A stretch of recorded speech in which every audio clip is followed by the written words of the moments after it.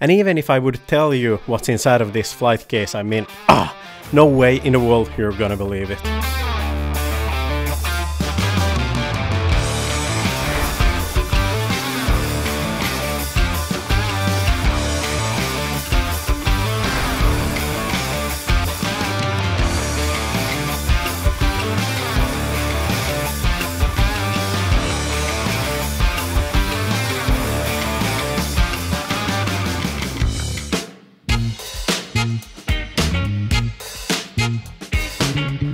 And there it is.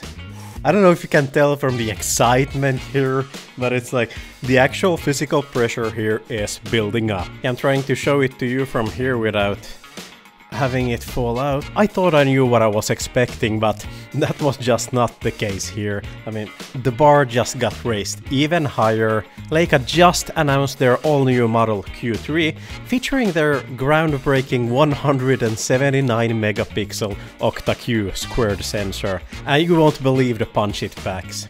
Not only does it deliver the stunning colors we all know Leica from, but the optics are literally almost at the border of breaking physics, right here. Built into the frame is a 10 to 400mm full frame equivalent lens that allows you to get that super wide vlog style and punch in for when you really need that zoom.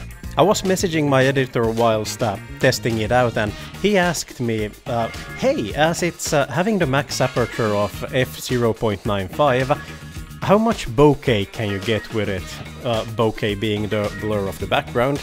Well, my reply was, all of it. The visual style and elegant appearance is in a class of its own, obviously, and it boasts that true authentic vintage vibe that's just perfected by time.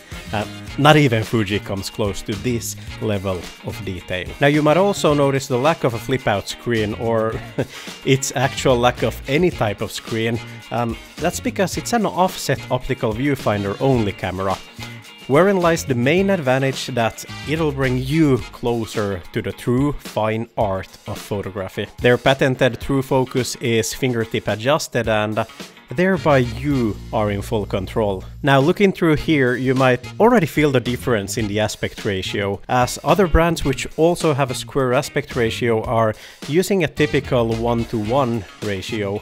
Leica just doubled that by introducing the first ever 2 to 2 aspect ratio, with the results being that it, the images are more alive than ever before. Now some of you might already be asking me that will it replace the main A-roll camera?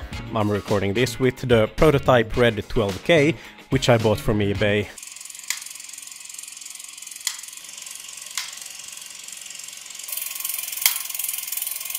To which the answer is, I don't know yet. Maybe. Launch price still largely unknown, but as of today, it's officially announced, and it'll be available for purchase on April Fools next year. For more videos on the stuff I do, you might be interested in this video over here. If you enjoyed this video, hit the thumbs up button down there as it really helps this channel grow and subscribe if you haven't. Thanks for riding fences with me today, and I'll catch you next time. See ya!